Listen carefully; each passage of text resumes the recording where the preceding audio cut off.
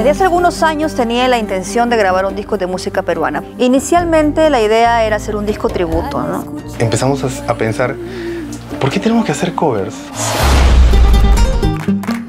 En la radio escuchamos mucha música tradicional de otros países, ¿no?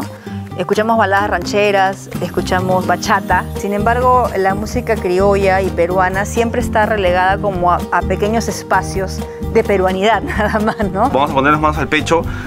¿Cuántas veces has entrado a internet a ver qué está sonando de nuevo en el Perú?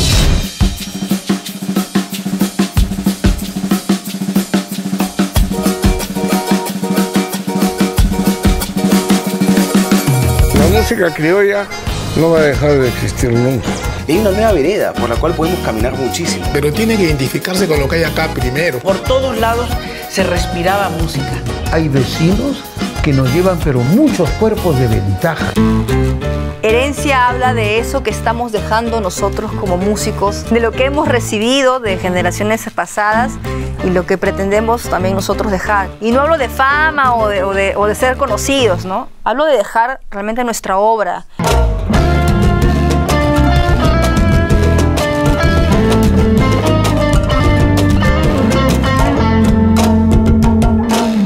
Que el peruano hoy está en las posibilidades, primero, de vender lo que quiera. Y segundo, de ser reconocidos. Y nos faltaba, pues, Nicole, ir al mundial.